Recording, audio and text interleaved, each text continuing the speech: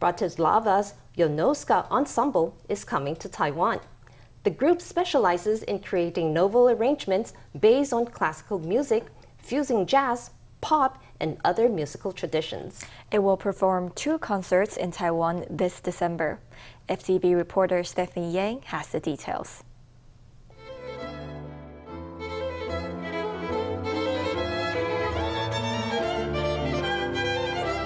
Janoska Ensemble is made up of three brothers from Bratislava Ondrej and Roman Janoska on violin and František Janoska on piano, along with their brother in law, Julius Darvas, on the double bass. The four members have a background in classical music, but their work spans diverse genres.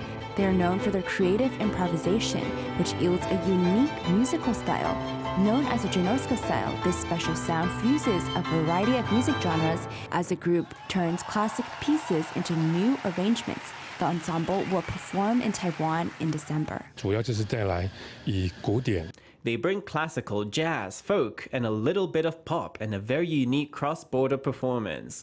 Their music brings a lot of surprises, such as the way they interpret classical music with a very masterful sense of rhythm. During the performance, you'll hear them adapting Hungarian dance music.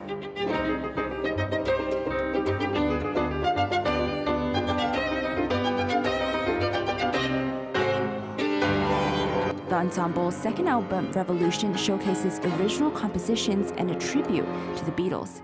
Their fourth album, The Four Seasons, is in the works and is slated for release next October.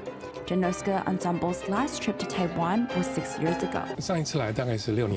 The last time they were here was about six years ago when they had just released their first album.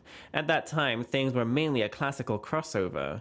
Over the six years since, they've released two recordings. One is called Revolution, which melds the Beatles with classical music. The work they'll present this time is from their latest album.